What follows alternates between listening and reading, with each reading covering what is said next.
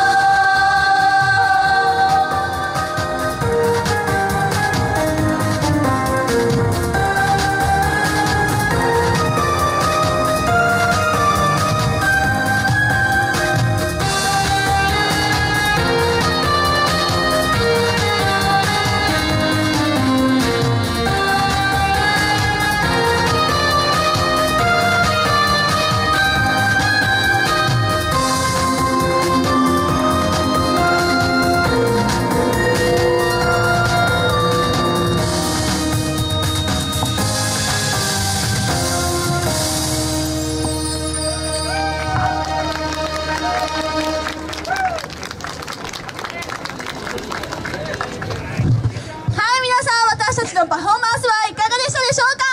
イエーイ！ありがとうございます。ここで皆さんにちょっと告知です。はい。あのこの後ショーホール文化会館のショーホールの方で、はい。私たちパフォーマンスを行いますえっ、と2時ぐらいですかねはいはいそうですかねはい、うん2時頃からショーホールでうん行いますので、皆さんぜひ見に来てください、はい。それともう一つこちら重要、女の子のみんな聞いてね。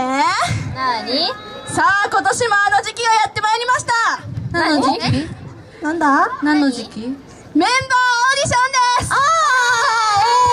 おーはい来年の2月に、はい。えー、めんこいガールズ次は第4期メンバーオーディションを行う予定ですはい。ダンスが好きで歌が好きで、えー、アイドルになりたい女の子を募集しておりますので、皆さんぜひ応募してください。よろしくお願いします。よろしくお願いします。